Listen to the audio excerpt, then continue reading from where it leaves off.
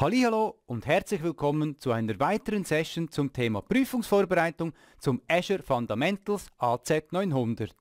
In der heutigen Session unterhalten wir uns über den Marketplace und mit welchen Werkzeugen Sie mit dem Azure Portal interagieren können.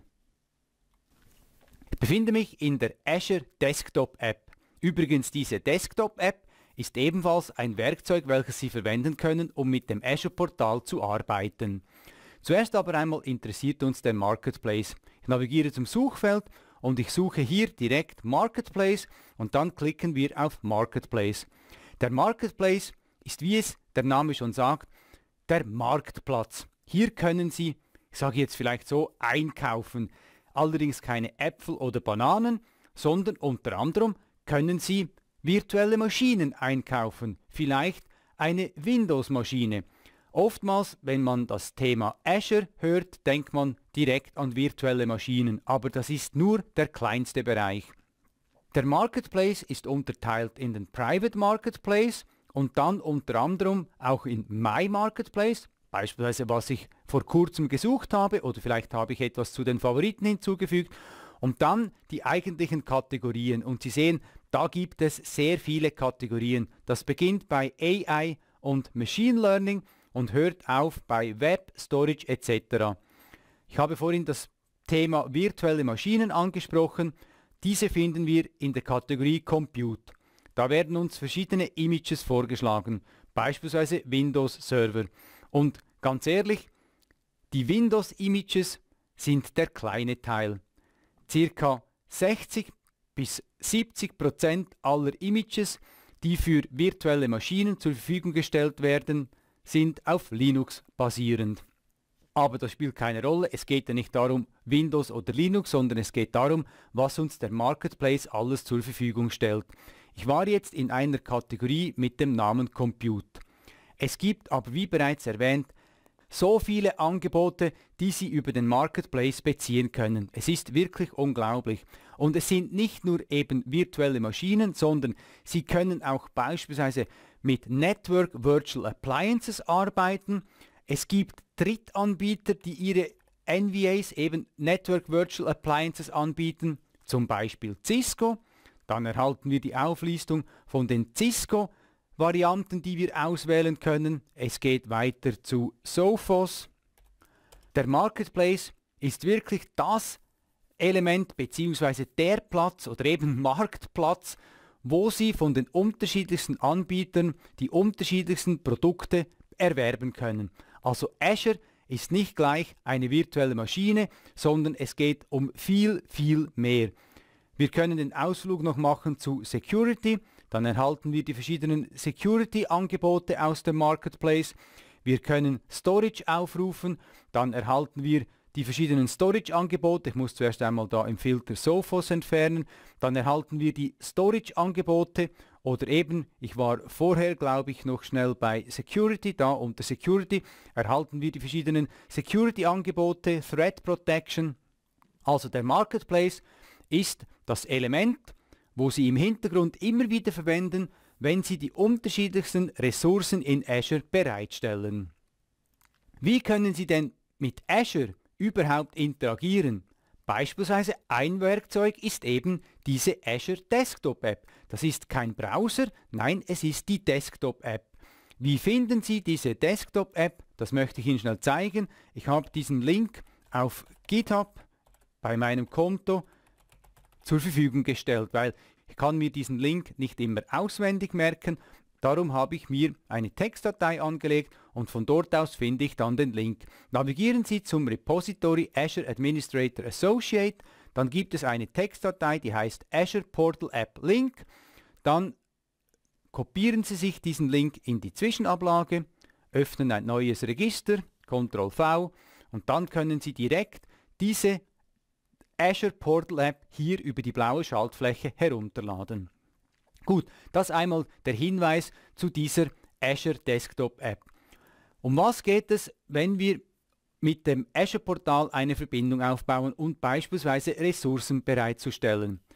Im Hintergrund arbeitet der sogenannte Azure Resource Manager, abgekürzt ARM. der Azure Resource Manager ist verantwortlich für die Bereitstellung von den verschiedensten Ressourcen in Azure und aber auch für das Management von Diensten in Azure. Es ist also die sogenannte zentrale Schnittstelle zwischen Ihnen und der Azure-Infrastruktur, die im Hintergrund ausgeführt wird. Und das kann ich Ihnen sehr gut zeigen an diesem Bild. Sie sehen, der Azure Resource Manager ist das zentrale Element. Sie können mit dem Azure Resource Manager eine Verbindung aufbauen, beispielsweise über das Azure Portal. Entweder im Browser oder, wie Sie es gesehen haben, wie ich zum Beispiel mit dieser Azure Desktop App.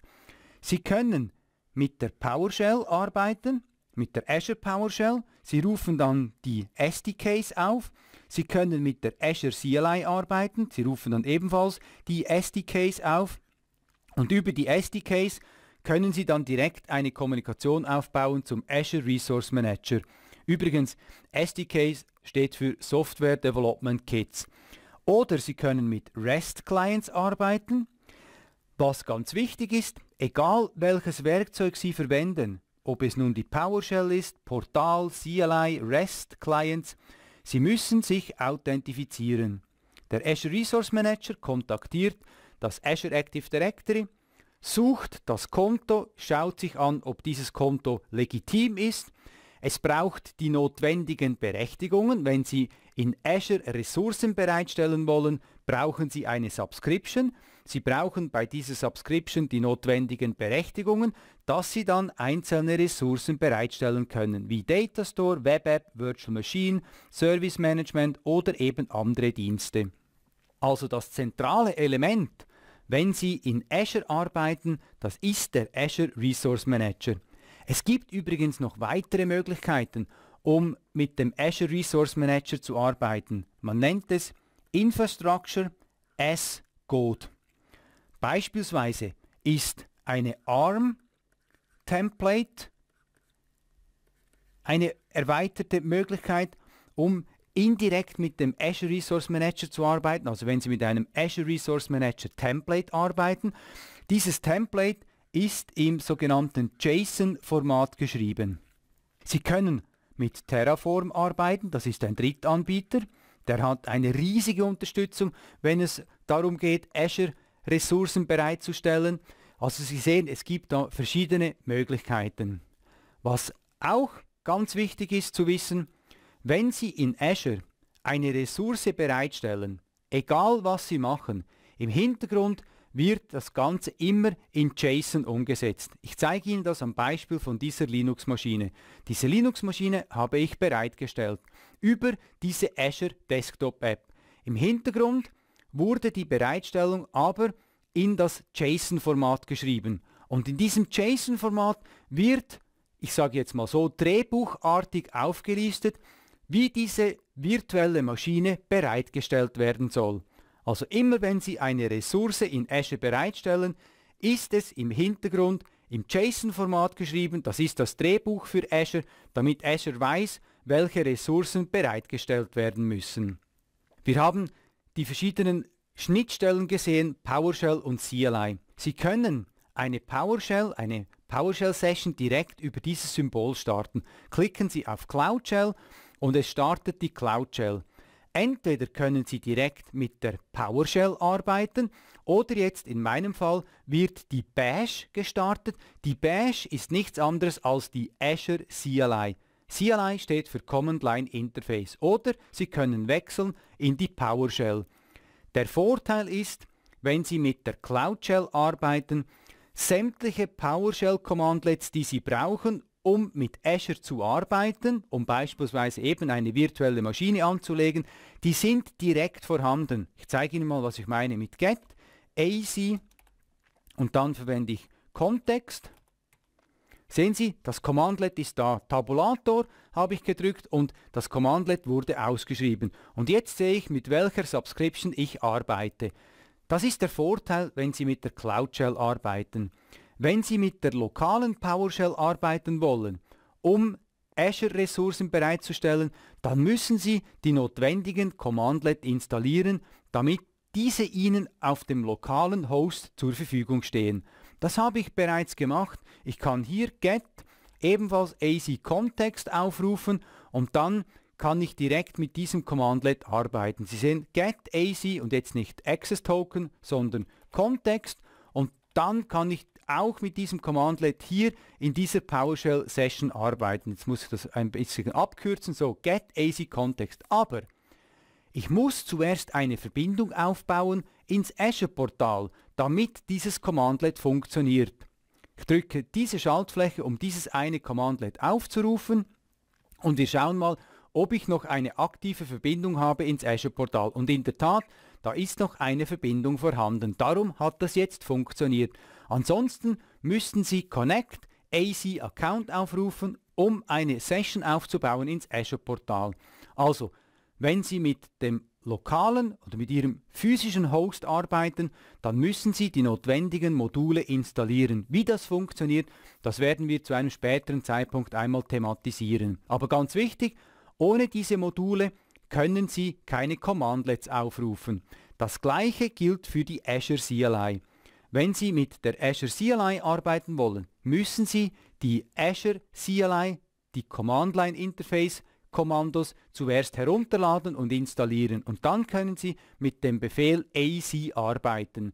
Dann werden Ihnen sämtliche Unterkommandos aufgelistet. Sie sehen AC, dann die Nachricht, hier Welcome to the cool new Azure CLI und das sind dann die Unterkommandos, die zur Verfügung stehen in Kombination mit AC, also beispielsweise AC Account, AC Advisor, AC AKS und so weiter. Aber auch da, Sie müssen zuerst die Azure CLI-Kommandos auf Ihrem lokalen Rechner installieren, damit Sie dann mit Azure arbeiten können.